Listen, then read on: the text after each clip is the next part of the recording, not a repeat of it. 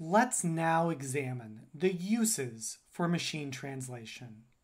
Or, to put it another way, let's ask the question What is machine translation good for? Before we answer this question, let's take a look back in time at some historical context. In 1949, Warren Weaver wrote and distributed his now famous translation memorandum that kicked off machine translation research in the 20th century. Two years later, in May of 1951, Yehoshua Bar Hillel, an Israeli academic, was hired at MIT as the world's first full time machine translation scholar. One of his first duties at MIT was to determine the current state of the art in machine translation. There were a small number of academic and industrial research labs in the United States that had begun very preliminary experimentation with machine translation.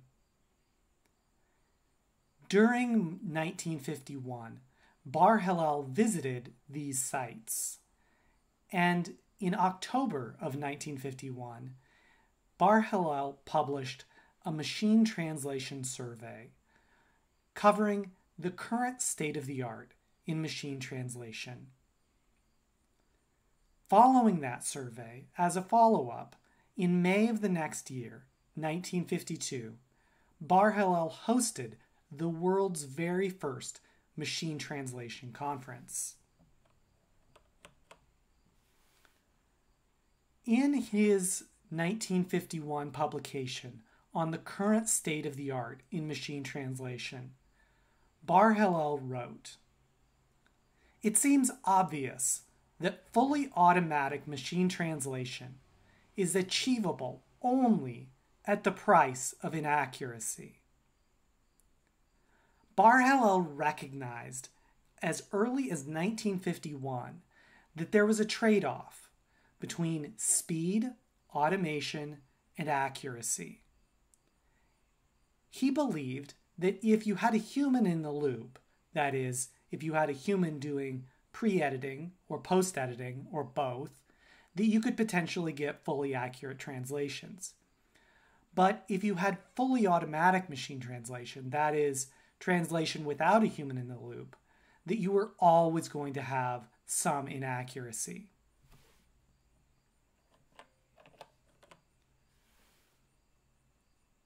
Throughout the remainder of that decade, 1950 to 1960, there was a lot of hype. The world's first machine translation demonstration was produced at Georgetown, a collaboration between Georgetown and IBM. There was huge amounts of hype around this.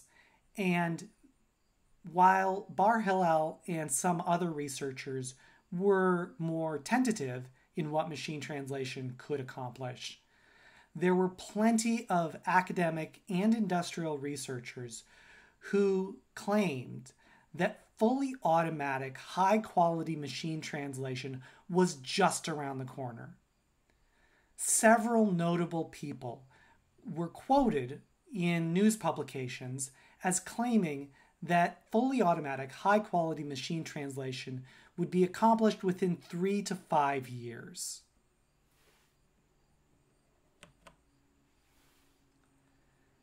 In 1960, Bar Hillel wrote another survey on the state of the art of machine translation. By 1960, there were a lot more research labs pursuing machine translation than there had been in 1951 and 1952. There were research labs in the United States, in Europe, and in Russia. In his 1960 document, Bar Hillel was even more pessimistic than he was in 1952 about the, the possibility and likelihood of fully automatic, high quality machine translation. In his 1960 article, Bar Hillel wrote that fully automatic high quality machine translation is unattainable, quote, not only in the near future, but altogether. In the appendix to his 1950 uh, to his 1960 article, Bar Hillel included an example of why he believed that fully automatic, high quality machine translation was not possible even in principle. This is one of his prime examples. Bar Hillel gave this example. John was looking for his toy box. Finally, he found it. The box was in the pen. Now, in this example, we have a couple of words that are potentially ambiguous. The most ambiguous and the most relevant here is the word pen. Most commonly in English, pen refers to a writing implement, a pen. But in this example, it's referring to a playpen, a child's play area, enclosed play area. Bar points out that the only way to properly translate this sentence is to know that the meaning, the use case of the word pen is as a play enclosure and not as a writing implement. He believed that the only way to solve this problem was the machine would need to know how to reason about the world, would need lots of world knowledge. You would need to know that a box cannot fit inside the kind of pen that is a writing implement.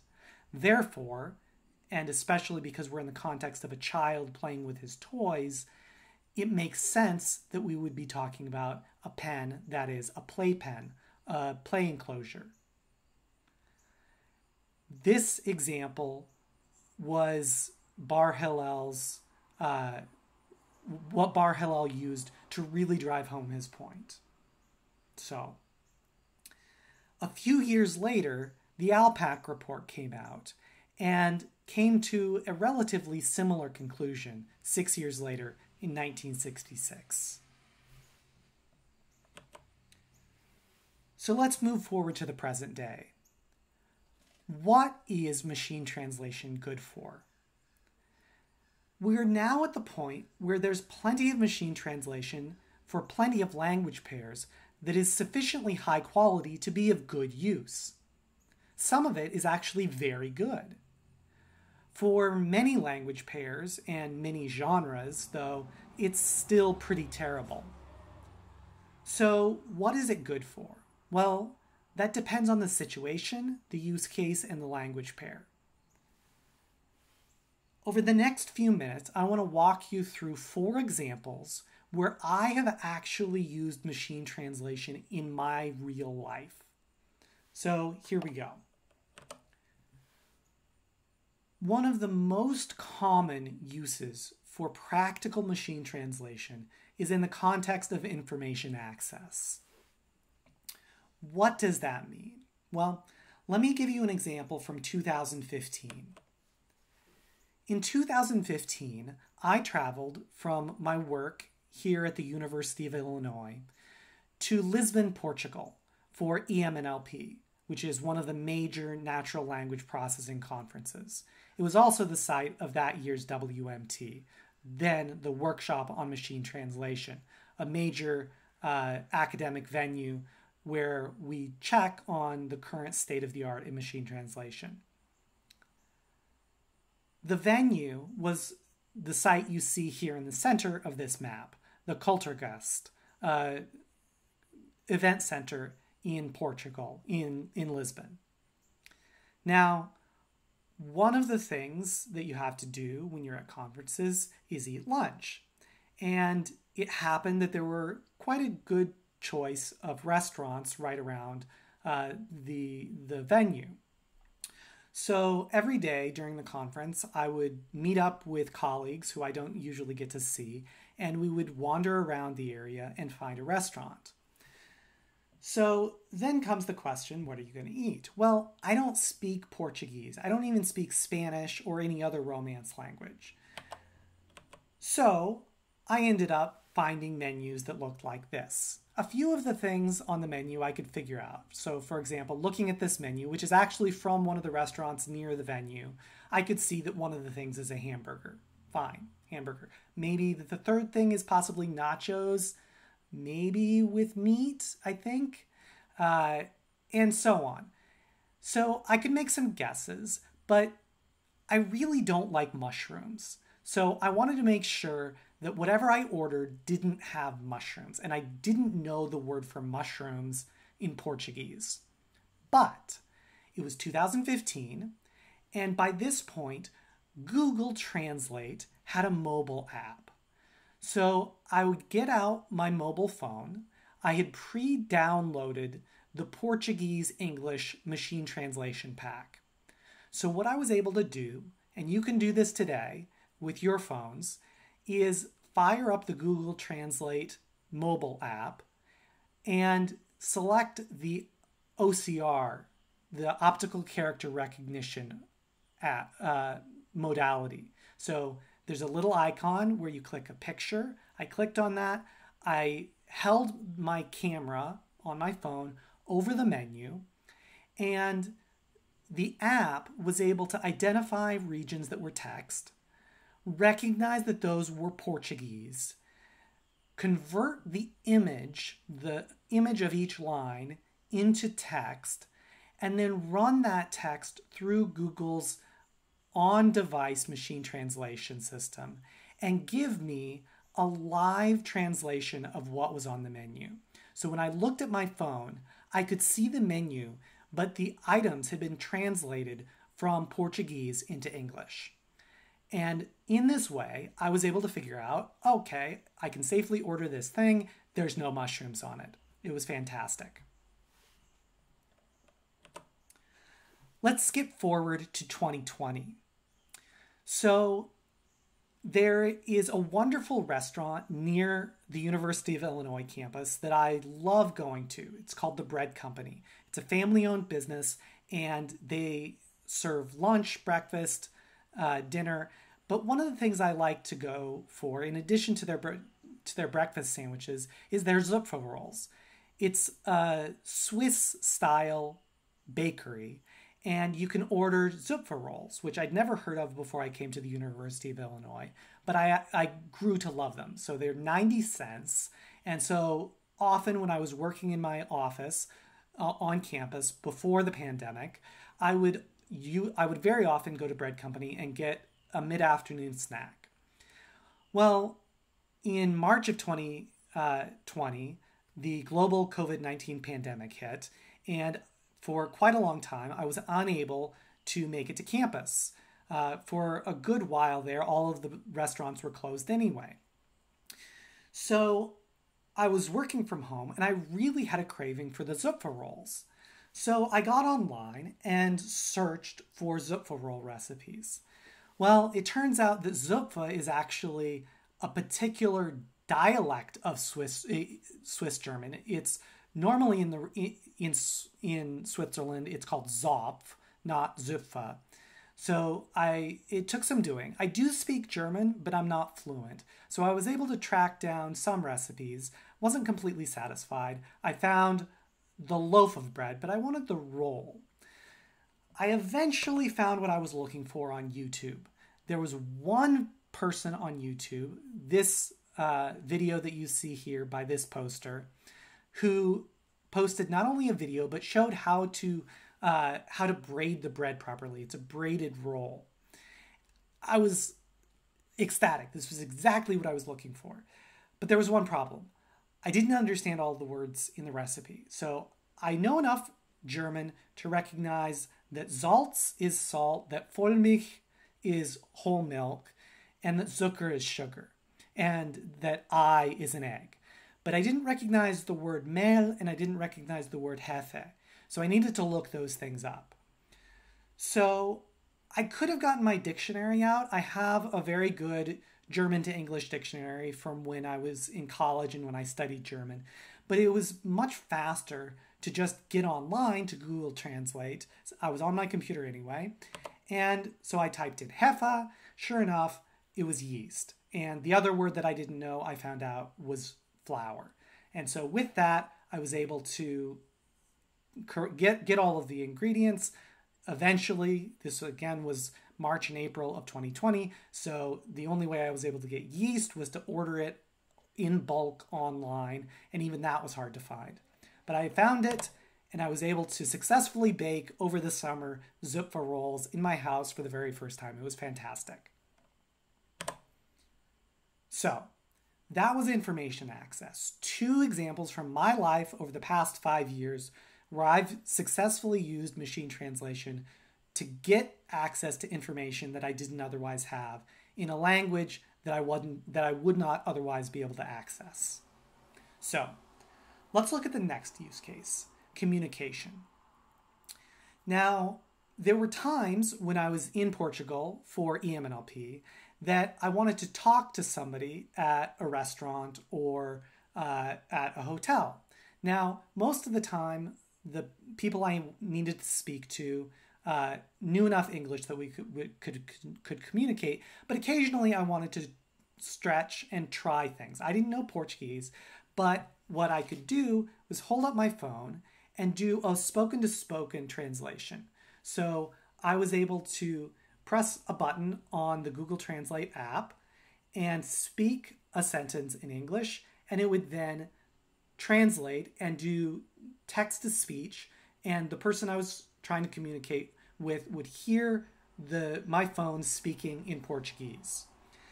That worked okay. Uh, there are also situations where you want to do this long distance. So when I was booking my hotels, I didn't speak Portuguese. I happened to get lucky and found hotels that I could call uh, that spoke where someone spoke English. Um, and most of the time, you can do that by booking online. But occasionally, you need to talk to somebody and they just don't share a common language with you. So in 2019, I was trying to get a hold of someone who is in a Spanish speaking country. And I was trying to uh, purchase a gift for this person remotely. And they were in a small, a small city. So the place I wanted to get the gift was a Spanish speaking business owner who didn't speak English at all. I tried, I tried calling, and they didn't speak English. About the only thing I know in Spanish is how to say I don't speak Spanish. But I was aware of Skype Translator. So, Skype Translator came out a few years ago, and using Skype Translator, you can speak to somebody either using Skype, Skype to Skype, or Skype to telephone. And you can speak one language, the other person can speak their own language. I happen to know somebody at Microsoft who worked on this, and my friend at Microsoft worked on Skype Translator from his office in Washington state, and his Microsoft colleague worked on Skype Translator from that colleague's office in Spain. My friend in Washington spoke English. His colleague in Spain spoke Spanish. They talked to each other through Skype Translator, and Skype Translator translated what they what they spoke to each other. And then when they found bugs, then later in the day they would go and try to fix those bugs. So in 2019, I was able to attempt to use this to purchase a gift for somebody in Argentina. Turned out it didn't work, not because Skype Translator didn't work, but because there's an automated message at when the person picks up the phone saying this is an automated call and whenever the person heard that they hung up. So it didn't work, but not for the reason that I expected. Next, let's look at NLP as part of a larger pipeline. I'm a child of the 80s, and I still have a few of the Lego space sets, Lego Blacktron sets, uh, from when I was a kid. And every so often I get nostalgic and I want to see how much these sets or the bigger, more expensive sets uh, that I didn't get as a kid would be if I tried to buy them used today. So here's an example of one of the sets that I wanted to look at. This was earlier this summer. And the name of the set is the LEGO Message Intercept base. It's part of the LEGO Blacktron series. Now, I wanted to find out how much this was. It was probably going to be something ridiculous, but I wanted to at least uh, indulge my curiosity. So I got on eBay and I typed in the name of this Lego set. And I got some hits, but I didn't just get hits in English. So it turns out that for the past, I don't know, five, six, seven years, a lot of tech companies have started up their own machine translation research groups. So when I was at ACL in 2014, there were tons of companies at the tech exhibit, giving tech exhibits at this uh, computational linguistics conference trying to hire machine translation graduates. And at that time, there were more jobs open for machine translation PhDs than there were uh, graduates to fill them. So eBay was looking, Amazon was looking, a bunch of Chinese companies were looking, uh, Apple was looking, uh, Microsoft was looking, IBM was looking, and I found, I, I actually saw the results of eBay's efforts when I searched for this Lego set. So I didn't just find eBay postings from the United States. I didn't even just find eBay results from English speaking companies, countries, I also found results from eBay Italy. And so I was able to see an eBay result, someone in Italy posting their used Lego set, describing it in Italian, and I was able to see that result. So, what happened? Well, machine translation was being used as part of a larger pipeline. So, when I searched in English for message interceptor base, eBay translated that into Italian, translated my search query into Italian, and gave me matches to my query um, among Italian postings in addition to English postings. Finally, machine translation can be used to assist human translators. So, this is not a new idea way back in 1951, Yehoshua Bar Hillel foresaw that machine translation could be used by human translators to potentially speed up or make the process easier. Now, it hasn't always worked that way. There have been plenty of cases over the decades where human translators have been pushed to use machine translation when they didn't want to. And for a huge amount of that time, the translations that they got from those machine translation systems were absolutely garbage. And it was a painful process. Now, that still does happen, but much less so than it used to. So, for at least a lot of major language pairs where there's a lot of training data, so French to English, Spanish to English, uh, even Arabic to English and Chinese to English. Uh, there's the quality is actually quite good. And so there's plenty of use cases now where professional translators, uh, translation service companies, will use machine translation in their human translation pipeline.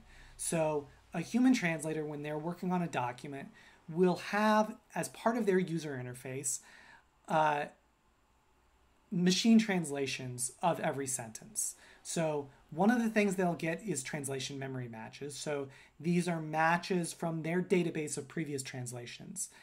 And then they may also get a machine translation for each sentence. And then they can choose do I start from scratch or do I use the machine translation or a translation memory as a starting point? So I want to give you one particular example where this happened to me. So, like I said, I don't speak Spanish, I don't speak French, but I am a machine translation researcher and I'm interested in accessing machine translation literature, even that literature that's written in other languages. And so when I was doing a literature review one day in uh, 2014, 2015, I ran across a machine translation paper that was published at a French venue. So this was a natural language processing conference in France. And it was a paper that I wanted to figure out what it meant. So here's a little snippet. One of the things that machine translation, when it's used in the context of human translation, can potentially do is show confidence scores. So, for example, a particular sentence could be highlighted, and the highlighting could mean different things, but it may mean, for example, the machine translation system is less confident that its translation of this sentence is good. And so, a human translator, if they see that low confidence, they may just choose uh, I'll start from scratch rather than starting from this unreliable translation. So in this case, I actually used machine translation to translate the document, and then I did the post editing. So this is called monolingual post editing. So I'm a monolingual speaker of English. I'm a domain expert in machine translation. So I have a very good language model in my own mind of what types of language I expect to see when I read a machine translation paper. And so I was actually able to do post editing of this document. And this is the result. So it happened to be a little meta. This was a machine translation article written in French about post editing. And so you can see from the text here, this is the result of post editing. And I was able to use this approach using machine translation uh, to to post edit in a way that I was able to get access to the information that I needed to get to, that I wanted to get to. So, what is machine translation good for? Well, probably the most common usage is for information access. Someone is out there, you want to you you speak a, you speak one or more languages, there's content in a different language that you either don't speak or aren't completely comfortable in, and you want to access that information. Or you want to communicate. You want to do text chatting or voice to voice communication with someone who you don't share a comfortable common language. There's also plenty of cases where machine translation is used behind the scenes as part of a larger NLP pipeline that you might not even be aware that machine translation is happening. And finally, there are plenty of cases where machine translation is used to assist a human translator in doing their job.